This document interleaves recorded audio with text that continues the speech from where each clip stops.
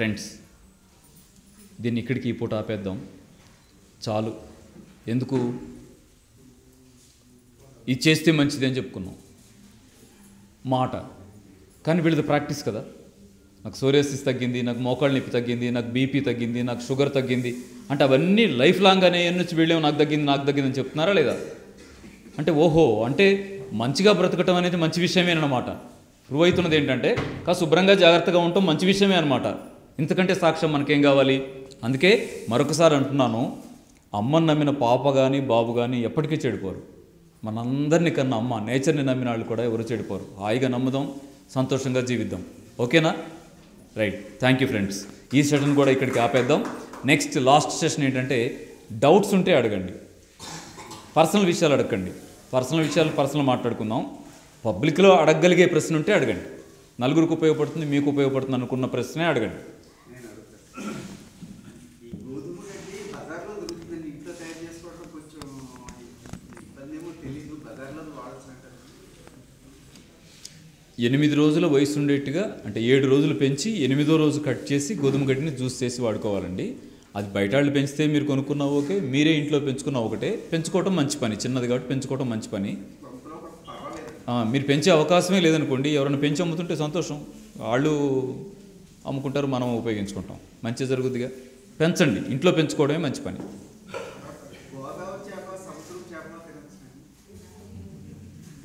సరే తినచ్చు. మన సొంత సొంత గేదెలు ఉంటాయి కూడా పర్వాలేదండి. పర్వాలేదు. తర్వాత ఈ జ్యూస్లు అవి దీర్ఘకాలికంగా వాడితే ఏమైనా నష్టం జరుగుతుంది సంవత్సరం ఆరు నెలలు అలా వాడితే జరగదు. ఆయన ప్రశ్నలు వర్షమే అలా కురిపించారు. నేను ఒక్కొక్క ముక్క ఒక్కొక్క ముక్క చెప్పి ముగించాను. ఏమన్నారు? మామూలు చేపలు దొరుకుతాయిగా తినొచ్చా అని. అంటే ఇప్పుడు మామూలు చేపలు తినొచ్చా? ఇంకో చేపలు తినొద్దా అనేది విషయమే. ఇంపార్టెంటే. కానీ నా ఫీలింగ్ ఏంటంటే ఒక మూడు నెలలు అసలు ఏం తినకుండా ఆగరండా ఏం పోయింది? ఇప్పుడు దాన్ని చంపి తిందామా దీన్ని చంపి తిందామా చూసే కంటే శుభ్రంగా మామూలుగా ఉండండి. మూడు నెలల తర్వాత మీ ఇష్టం ఎవరన్నారు? ఓకేనా? మంచిదే. ఆ జీన్ మాడిఫైడ్ కాకుండా దేశ నేషనల్గా నేచురల్గా దొరికేది ఏది తిన్నా ఇబ్బంది లేదు. అయితే మనిషి మాంసాహారి కాదండి సహజంగా. శాకాహారి. చిన్న మాట చెప్పున మాంసం తినొద్దని ఎందుకంటాం? అంటే మాంసం మీద వ్యతిరేకత ఏంటి? టేస్ట్ ఉంటే ఎందుకు తినొద్దు? కానీ సమస్య ఏంటంటే మాంసం తినే జీవులను చూడండి శాకాహారం తినే జీవులను చూడండి. మాంసం తినే జీవి కుక్క కానీ పిల్లి కానీ వేటిని చూసినా పెద్ద పుల్లి మనం చూడడం అనుకోండి ఆ, వాటినే చూడండి. అటు కూరపళ్ళు ఉంటాయా లేవా? ఇంత ఇంత బారున. అంటే పట్టి చేల్చడానికి వీలుగా నేచర్లో తయారై ఉంటాయి. లోపల వట్టి రంపప్పళ్ళు ఉంటాయా లేవా? ముక్కలు ముక్కలు కట్ చేసి మింగేయడానికి వీలుగా. కానీ ఒక శాకాహారిని చూడండి వాటికి ఏముంటాయి కొరకటాకు వీలుగా పారపళ్ళు ఉంటాయి. కొరక్కలది అంతే ఆవు గేద జింక ఇట్లాంటివన్నీ చూస్తే ఏముంటాయి కొరకటాకు వీలుగా ఉంటాయి అంతే. లోపల చూస్తే దవడపళ్ళు ఉంటాయి. ఆ దవడపళ్ళు ఎట్టుంటాయి? రోల్లాగా గుంటుండి రుబ్బటానికి వీలుగా ఉంటాయి. ఒక పన్నులో పన్ను పడి ఇలా రుబ్బేస్తే మెత్తగా వీలుగా ఉంటాయి. ఇప్పుడు మన దంత నిర్మాణం శాకాహార జంతువుల నిర్మాణంలాగా పారపళ్ళు గుంటపళ్ళు ఉన్నాయా మాంసాహార జంతువులాగా కూరపళ్ళు రంపపళ్ళు ఉన్నాయా శుభ్రంగా లోపల దవడపళ్ళు గుంటపళ్ళు ఉన్నాయి ముందు కొరకటాక వీలుగా ఉన్నాయి. అంటే మనం శాకాహారులమే కదా. మరి మాంసం తింటున్నాం? ఏమో ఎందుకో ఎప్పుడో అలవాటు అయి ఉంటుంది. అదేం తినలేం కదా. నిజానికి మాంసం తింటున్నాం అనకండి. మాంసం ఉడకబెడితే తప్ప నవ్వలేం కదా. ఇప్పుడు పచ్చి ముక్క మాంసం ముక్క ఇస్తాం. తినండి అంటాం. ఎవరు తింటారు? రోజు మాంసం తింటానండి అనే మనిషి కూడా పచ్చి ముక్క తినలేడండి. తినలేడంటే మింగలేడని అంటలా నేను. నలవ నలగదు. రబ్బర్ ముక్కలాగా ఉండిపోద్ది. ఎక్కడ తింటాడు?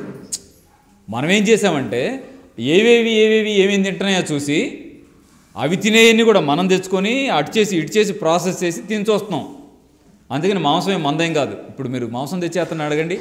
నువ్వు కోడిని కోసుకొని మాంసం తెచ్చావా అని. కాదు దూరంగా నుంచొని అంటాడు అరకిలో కట్టండి. అంటాడు నేను దూరంగా ఉండి. ఎందుకంటే పిచ్చి స్మెల్ వస్తుంది అక్కడ. ఆ స్మెల్లో ఉండలేరు.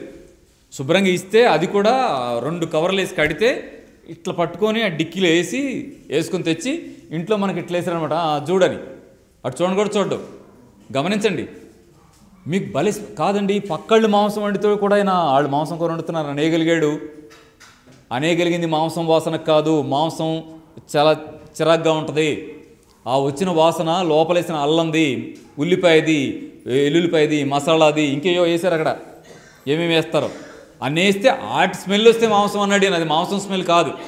దృష్టిలో పెట్టుకోండి. అర్థమైందా? కాబట్టి మాంసానికి దూరంగా ఉంటే సంతోషమే కానీ ఇక్కడ అనలేను.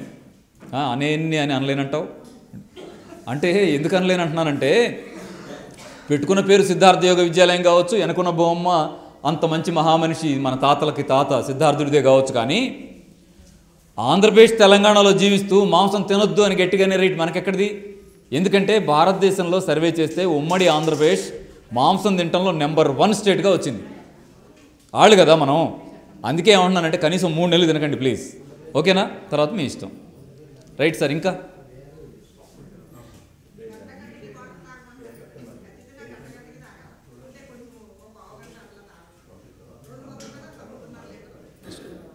తీసుకోండి.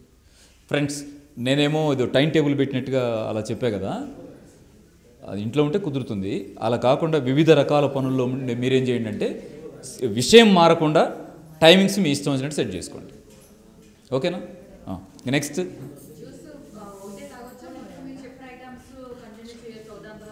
తాగేయచ్చు. అంటే ఓ రెండు జ్యూస్లే సెలెక్ట్ చేసుకుని అవే నెలంతా తాగాలా? మీరు ఏడు చెప్పారు కదా ఒకరోజు ఒకటి ఒకరోజు ఒకటి వారం ఒకటి మార్చుకొని తాగే తాగొచ్చా? ఎందుకు తాగొద్దు? అద్భుతం ఇవి హాయిగా తాగేయండి. మొలకలు తినొచ్చా మొలకలు తినొచ్చా? ఫ్రెండ్స్ ఇక్కడ పళ్ళు తినండి పళ్ళు తినండి జ్యూసులు తాగండి అని ఎందుకు చెప్తామంటే నిజానికి మొలకలు పళ్ళ కంటే జ్యూస్ కంటే కూడా ఇంకా వాల్యూస్ ఉన్నాయి. కానీ గ్యాస్ ట్రబుల్ ఉన్నా మోషన్ ఫ్రీగా లేకపోయినా ఈ జీర్ణ సంబంధ ఏ సమస్యలు ఉన్నా వెంటనే మొలకలు తినటం కుదరదు. కాస్త జ్యూస్ తాగుతూ పళ్ళు తింటూ మొలకల్లోకి రావాలి. అందుకే పబ్లిక్గా చేసేయండి అని చెప్తున్నాం కాబట్టి ఏం చెప్తామంటే ఇబ్బంది వచ్చేది చెప్పకుండా ఉండాలని ఆ మొలకలు జోలికి వెళ్ళడంలో. అంతేగాని మొలకలు చాలా విలువైనవి. మీరు మొలకలు తిన్నా అరిగిపోయే పొజిషన్ మీకుంటే మొలకలు అద్భుతమైన ఆహారం మొలకలు తీసుకోండి. చేయొచ్చు. చేయండి. ఏం లేదండి. హాయిగా లైఫ్ అంతా తినొచ్చు. లేదమ్మా తినొచ్చు. తినొచ్చు. హాయిగా తినేయండి. ఏమండి? మూడు నెలలు చేయమంటున్నాను. కనీసం ఈ పదిహేను రోజులు చేసిరండి మాట్లాడదాం. Okay next. ఇంకా. ఫ్రెండ్స్ సార్ మీ అందరి కోసం అడిగారు. ఏమనంటే పప్పు ఎలా వండుకోవాలి అని అడిగారు. ప్రశ్న భలే ఉంది చూడండి. ఎవరైనా మనమైతే ఏం అడిగేవాళ్ళం అంటే పప్పు తినొచ్చా అండి అని అనేవాళ్ళం. ఆయన ఏమడుగుతున్నాడంటే ఏమండి పప్పు తినాలంటే పప్పుని ఎట్లా వండుకొని తినాలండి? అని అడుగుతున్నాడంటే మీకోసం అడిగిన ప్రశ్న అది.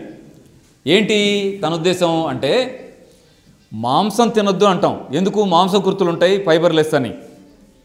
కానీ మరి పప్పులో మాంసం కంటే మాంసం కృతులు ఎక్కువ ఉంటాయి కదా. పప్పులో జీరో పర్సెంట్ కదా ఫైబరు. మరి అది మాత్రం తింటే ఎలా? అందరం తింటామే శాకాహారం అని. అరే కాబట్టి దాన్ని కాస్త జాగ్రత్తగా వండుకొని తింటే మంచిగుంటుందేమో అని ఈ ప్రశ్న అడిగారు. ఎలా వండి తినాలి? అంటే పప్పు తినండి కానీ పప్పు తక్కువ ఉండాలి దాంట్లో వేసే కూరగాయలు ఎక్కువ ఉండాలి. బీరకాయ పప్పు అంటామే. బీరకాయలో పప్పు అనాలి. బీరకాయ పప్పు అంటే పప్పు ఎక్కువ ఉంటుంది బీరకాయలు తక్కువ ఉంటాయి. దోసకాయ పప్పు బీరకాయ పప్పు సొరకాయ పప్పు అంటాం.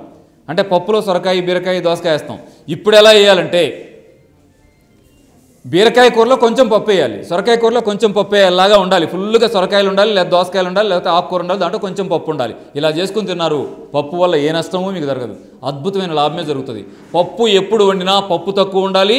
దానిలో వేసేటువంటి కూరగాయలు ఆకుకూరలో ఎక్కువ ఉండాలి. ఇది మీ అందరి దృష్టికి తీసుకురావాలని ప్రశ్న అడిగిన ఆయన కోసం తప్పట్లు కొట్టండి.